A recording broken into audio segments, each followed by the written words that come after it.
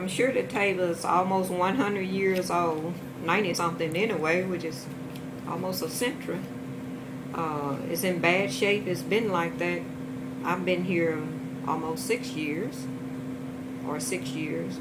It's taped up, it's stapled up, uh, and it's still falling apart, and has splinters that get in our legs when we move under it. it's just really in bad shape. Uh,